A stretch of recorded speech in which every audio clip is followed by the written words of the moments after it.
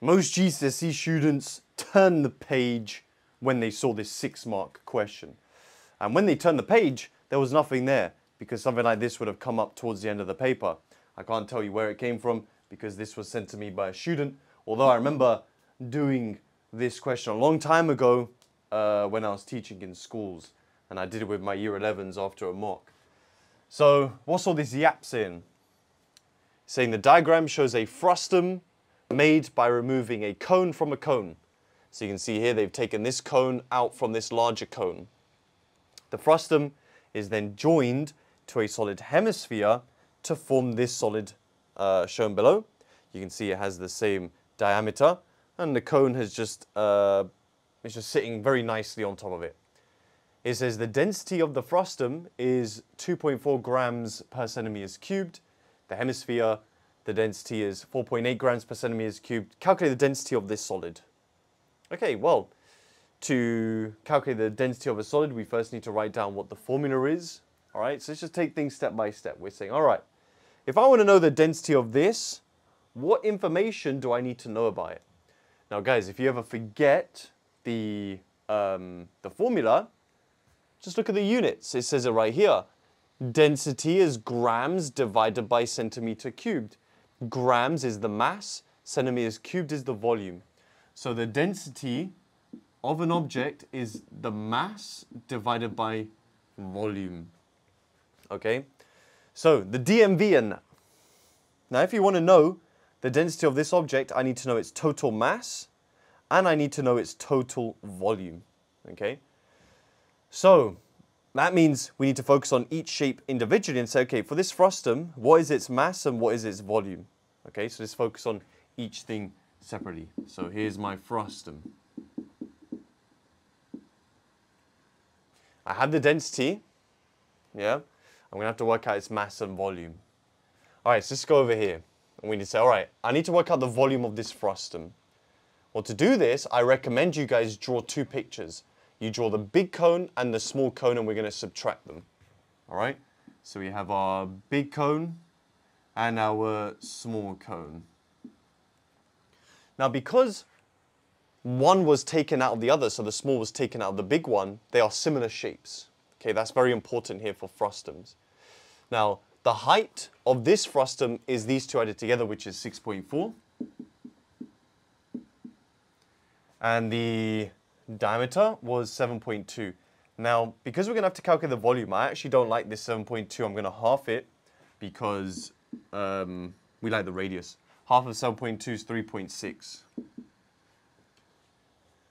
Now, can you see we took out the small cone, which has height 3.2? Well, then it's clear then that this cone is half the size of this one. So its radius is going to be 1.8. So now we can easily calculate the volume, all right? So the volume of this is going to be the volume of this minus this. What is the volume of a cone or pyramid? You do one third base area times the vertical height. Now because this is a cone, the base area is a circle. So it's going to be one third pi r squared, yeah? So pi r squared times the height. All right, so the radius is 3.6 and the height is 6.4. Okay, so I'm going to start subbing things in. So you have 1 third pi, the radius being 3.6, squared times the height of 6.4. I'm going to subtract 1 third pi, the radius being 1.8 squared, times the height 3.2. Now I'm sure this is going to simplify nicely for them because one third, the 3 goes into 3.6 quite nicely. And the quicker way to type this is you do one third pi, then bracket all of this minus all of this. So what I'm going to type in is one third pi, then a bracket, another bracket, 3.6 squared times 6.4 uh, minus 1.8 squared times 3.2 and I do not get a very nice answer. Which, oh, it's because I didn't put the 3.6. I didn't close that bracket. I still don't get a nice answer. 1 third pi, 3.6 squared. That's annoying. Maybe I need to type these in separately then. So 1 third pi uh, times 3.6 squared times 6.4. No, I just don't seem to be getting nice answers um, at all, which is pretty annoying. So that's 76 point whatever. I'm actually just going to store its value then. So I'm going to store that as A. And now I stored the A as something else. I'm just going to have to uh, type this all in again. I'll probably cut this bit. So my volume is 76.0014 dot dot dot, which I'm storing as A. So now that I've stored that as A, I can now work out the mass of the frustum. Now the mass of my frustum is D times V, density times the volume. And the density of that frustum was 2.4. So I'm going to do 2.4 times this value of A. So times by 2.4, I get 182, which I'm going to store that as B. So 182.403 dot dot dot, stored that as B. Now I need to move on to the hemisphere. Now the hemisphere should be much nicer to work out. Because the volume of a sphere is 4 thirds pi r cubed. So the volume of a hemisphere will be half of that. 4 thirds. Half of that, 2 thirds. 2 thirds pi and the radius is also 3.6, isn't it? Cubed. Okay. So we're doing uh, 2, wait, hold on, did I store that value? I did. 2 thirds pi radius cubed. I get 97. I don't know why it doesn't want to keep it in terms of a uh, fraction, but anyway, I get 97.71 dot, dot, dot. I'm going to store that as C.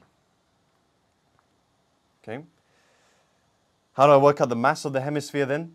Uh, I just need to times it by 4.8. So that's my volume. My mass then, timesing this by 4.8. I'm going to store that as D. So I get 469.037 dot dot dot. Store that as D. So now for my solid, I need to calculate the um, density. I'm going to do the total mass divided by the total volume. So there my masses. And this is why we store the values. I'm going to do B plus D divided by the total volume, which is A plus C. So I do fraction alpha B plus alpha D over alpha A plus alpha C. Whoa! 15 over 4. 3.75, dude. What an answer. 3.75. I was not expecting that. 3.75 grams per centimeter cubed. Yo, that is so cool. I just had B plus D over A plus C. But yeah, guys, I reckon they would have given a range for this because the numbers are just so messy, but they still work out very nicely, which is super cool. But yeah, guys, six marks for that. If you uh, learned something today, I'd really appreciate if you hit the like button, subscribe for more GCSE maths content. If you want to submit your own questions, link to the Lungang Reddit page is down below. And if you're interested in my GCSE courses, details are also in the description. I'll see you in the next video. Nice.